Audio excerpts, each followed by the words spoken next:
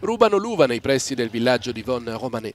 Per evitare di essere danneggiati prima della vendemmia, i proprietari dei terreni attorno al villaggio in Francia centro-orientale si affidano alla polizia. La situazione sta diventando complicata in una zona in cui la produzione vitivinicola offre prodotti di valore assoluto. Il 31 dicembre 2018 un furto aveva provocato danni per 52.000 euro a un produttore. Appena tre mesi più tardi un altro furto aveva provocato danni per 127.000 euro. Spiega un professionista della regione. Abbiamo bisogno di avere sorveglianza anche di notte, perché è facile venire a rubare dei grappoli. Lo vediamo abbastanza regolarmente. Rubano due, tre grappoli ogni due, tre ceppi e inizialmente è difficile rendersene conto, ma i danni sono ingenti. Così un poliziotto.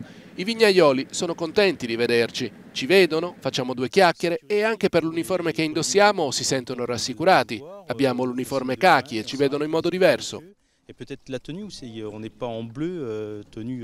Ma i ladri chi sono? A volte sono altri viticoltori rovinati da una gelata o da una grandinata che cercano di salvare la stagione a scapito dei vicini, qualcosa che da queste parti può arrivare a provocare perdite per decine di migliaia di euro.